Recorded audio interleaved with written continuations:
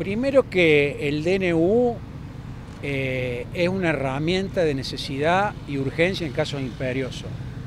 Yo creo que lo, lo que hace al dominio o a la propiedad privada es un tema constitucional. La Constitución Nacional dice que la propiedad privada es inviolable, salvo cuestiones de utilidad pública. Si alguien va a restringir el dominio o va a tomar el dominio de otra persona, más que nunca hace falta una ley.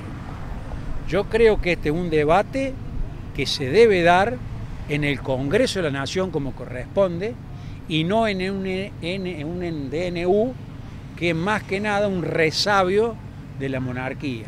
Entonces a mí me parece que si nosotros queremos tener una buena ley de retirar el dominio en aquellos casos de corrupción, lo debe ser por ley y no por DNU porque sería inconstitucional. Yo estoy de acuerdo con la esencia del proyecto.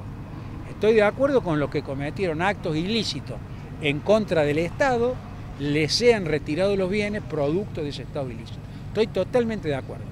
Pero debe ser el Congreso de la Nación, como representante de los estados provinciales, los senadores, y como representante del pueblo, los diputados, los que de acuerdo a la Constitución Nacional resuelvan este asunto.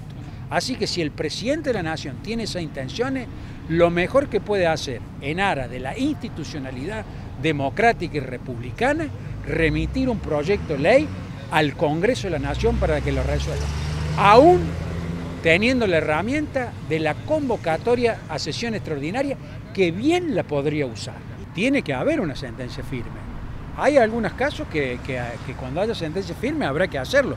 Por eso te digo, no es un DNU, es un debate que deben dar no una, una colisión de gobierno, mejor dicho, un partido de gobierno, que es el que está gobernando, sino que es un debate que tiene que dar la nación en su totalidad, con todas las fuerzas políticas.